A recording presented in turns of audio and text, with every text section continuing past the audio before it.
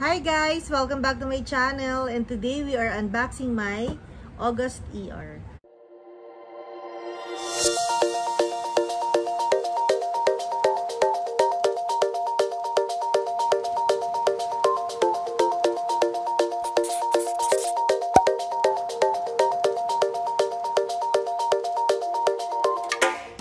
Start tayo dun sa pinakamalaki. Na-miss ko mag-unbox. Hindi ko siya nagagawa for how many months. Sumodo tayo ng ER kasi kailangan natin mag-stock up ng Ningxia Red. Ito yung feelers niya. Ang ganda. Ginagamit ko rin to sa bag para hindi siya ma-deform. Okay. What we have for our ER. So, nag 350 PV ako. Parang 354 or 360. So, we have Minsha Red. Dahil we cannot live without Minsha.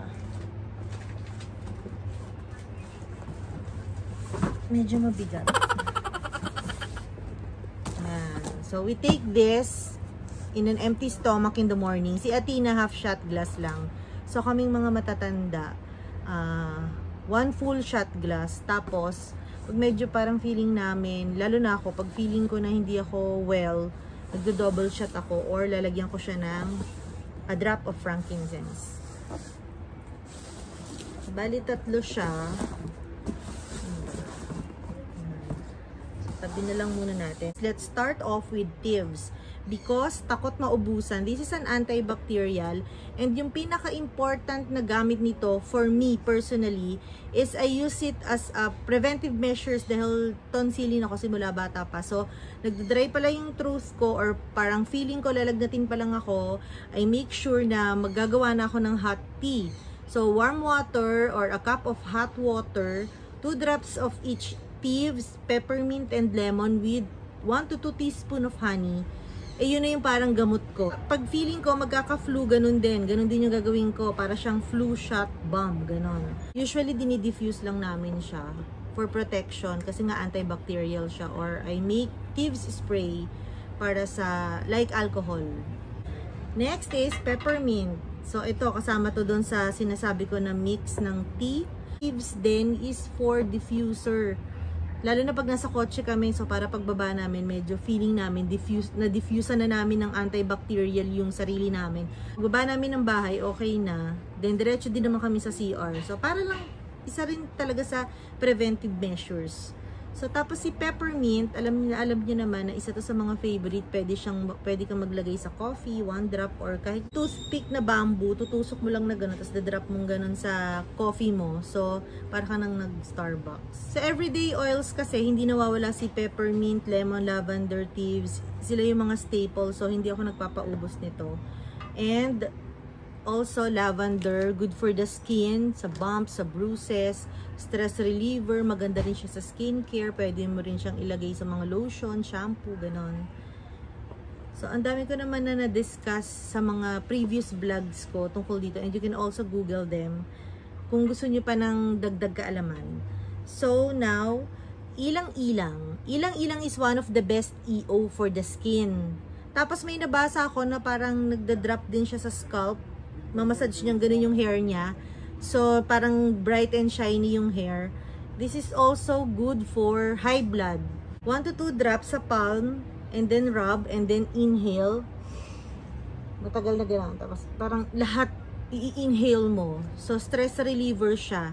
So, sinulat ko nga pala kung ano-ano yung mga oils na may inclusion ng ilang-ilang. Kasi alam niyo naman na sa Philippines, ang dami talagang ilang-ilang. And this is one of the best flowers that we got na kilala sa pagiging mabango niya. Other young living products na merong ilang-ilang are Aroma Life, Forgiveness, Gathering, Gentle Baby, Gratitude, Harmony, and Peace and Calming. Ah, kaya pala si Peace and Calming mabango dahil kay ilang-ilang. So talaga namang si Peace and Calming, uh, subok na subok ko na siya. Pag feeling ko stressed or burnt out na rin yung mga kids sa pag-aaral, nagdi-diffuse ako sa tabi nila noon. So, it can help them relax. This can be directly inhaled or applied topically. Pero kung feeling nyo sensitive skin kayo or unsure kayo kung sensitive ba kayo o hindi sa mga fragrance or sa oils, maglagay na lang muna kayo ng carrier oil and then drop this and then pwede mo na siyang ipahid. Sa Young Living, dun sa ating monthly ER, meron tayong tiering. So, ang nagsistart tayo ng freebie from 110 PV, 190, 250, and 350. So, as I said kanina, nag 350 tayo. So, we got all the freebies. And this is what I love about ER kasi nagkakaroon ka pa ng free oils na malalaki.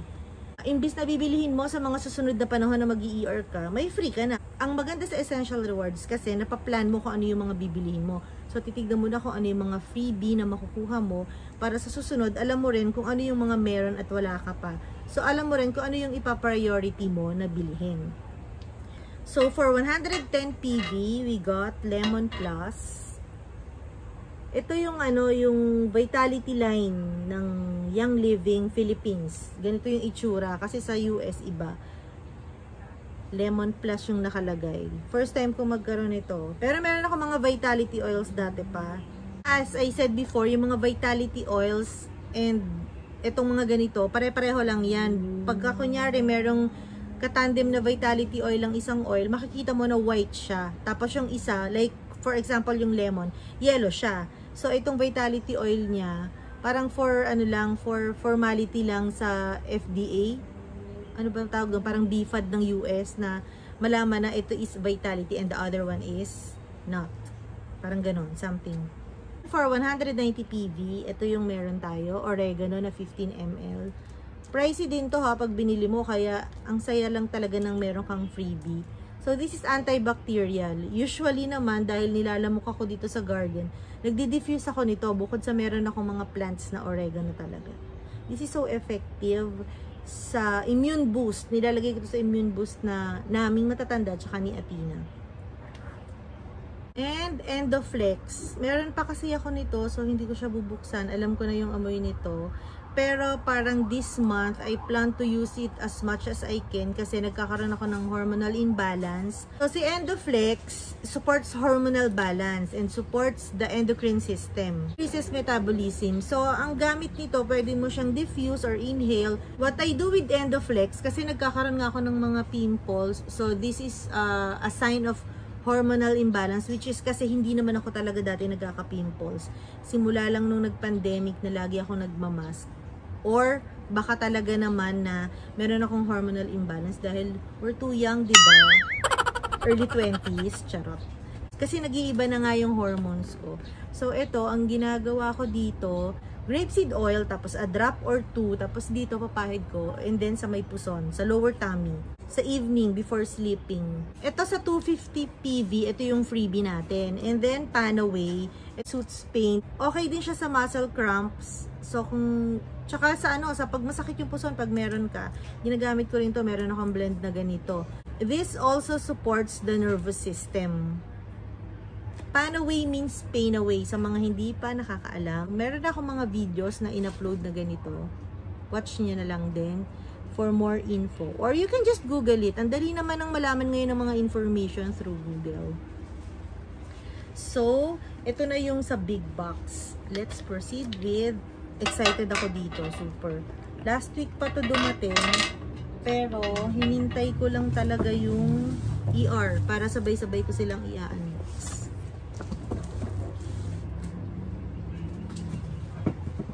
This is the Via Diffuser. Ito yung para sa car na gagamitin namin every time na nalalabas. Sa car pa lang, magdi-diffuse ka na Which is usually naman ginagawa ko na talaga. Dala ko lagi either feather or si snowy.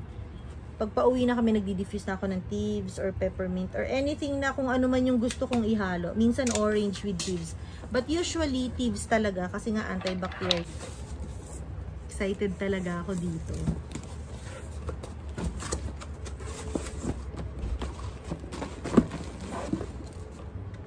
Ang cute. Box ko lang. Ang cute na. Oh my gosh.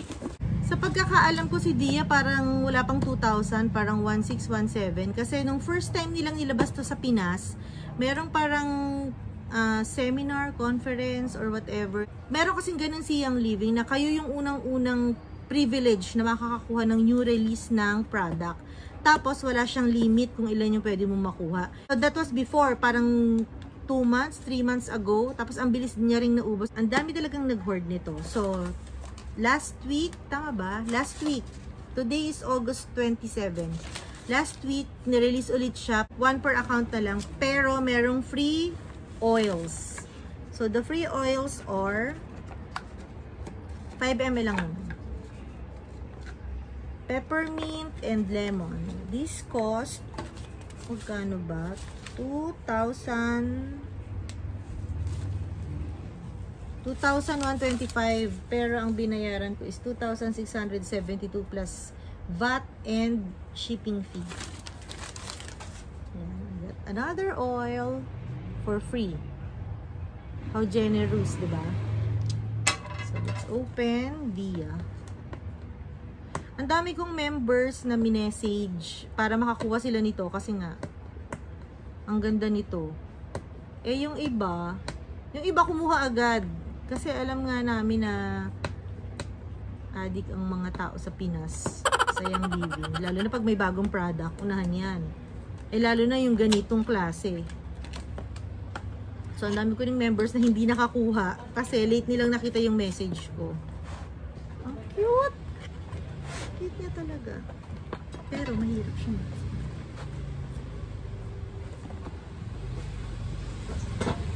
Sabi niya number 7 to. Time out. May lala move. Tok tok. Ano ba to? Wait lang. And take two. Dumating yung plant ko. So anyways, going back to Via, ganito lang siya kaliit. Ang ganda nito, nakita ko na kasi ito eh. Kaya talagang hindi na tayo papayag na maubusan tayo. So, shout out kay si J. Laurel na tutulog-tulog sa pansitan. Ang tagal kasing sumagot. Dapat ibibili ko na siya. Eh, hindi ako sure. Baka mamaya hindi niya pala bet. Hindi ko siya naibili. So, aabang na lang ulit kami.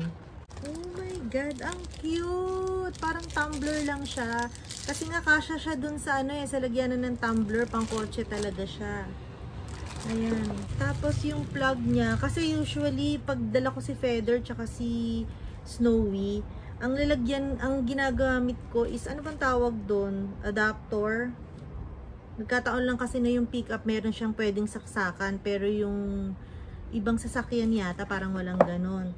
So, ito, pang kotse talaga siya. Kasi, oh, pang USB siya.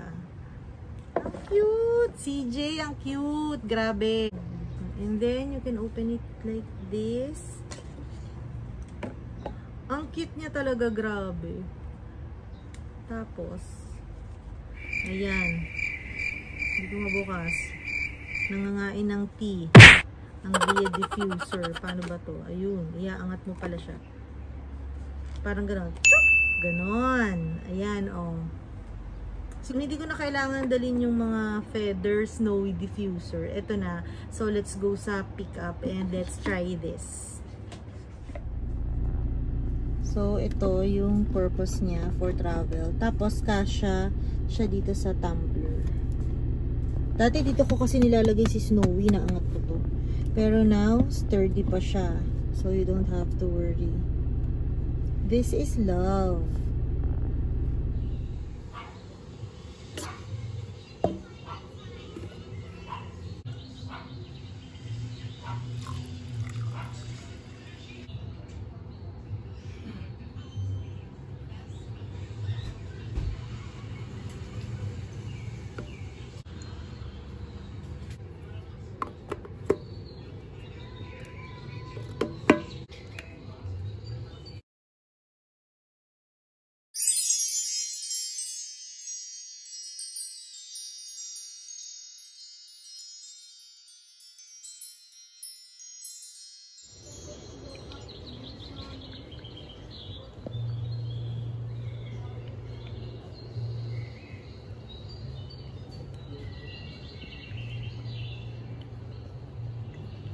That's it for today. I hope that you enjoyed my Young Living ER haul for August. If you're new to my channel, please don't forget to like, share, and subscribe. And don't forget to hit that bell notification para updated kayo on my new and upcoming videos. I'll see you again in my next.